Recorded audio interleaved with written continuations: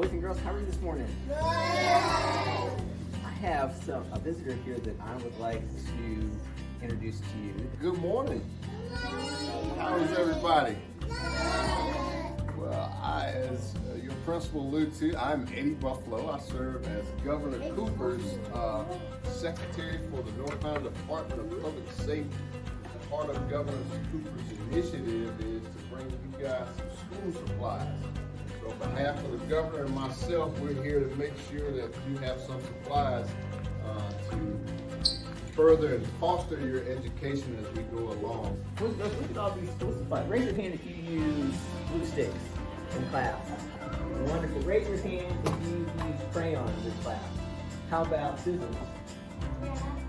So, what these folks did is collected these school supplies and they have donated them to us here at school so that we have some school supplies to use.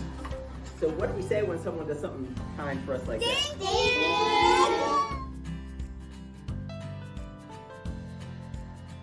Today, we're grateful to be in Randolph County here at Liberty Elementary School to drop off school supplies. Oh, wow.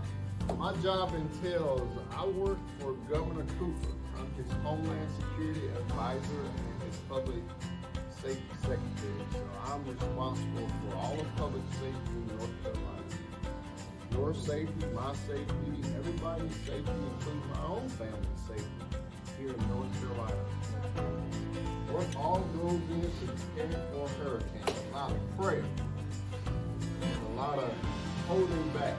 What goes on in preparing for hurricanes is DPS is challenged with being in a state of preparedness, a state of readiness, to make sure that we have staff, resources, and everything in place so if it does happen, then we can respond adequately. We go into response as well as to recovery. Talking to this group right here. This is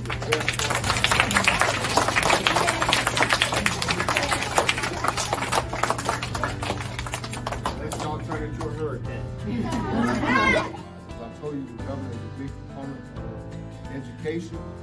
And this year we chose Randolph County to be part of that initiative. We wanted to bring some school supplies to show our appreciation and hopefully to enhance your educational opportunities as you move across your educational platform here in Randolph County. Thank you for what you do. Thank you for being our future. We're always dedicated to protecting you, the teachers and staff here in Randolph County and other 99 counties with us. So 99. And to say it this way best, we love you, we appreciate you.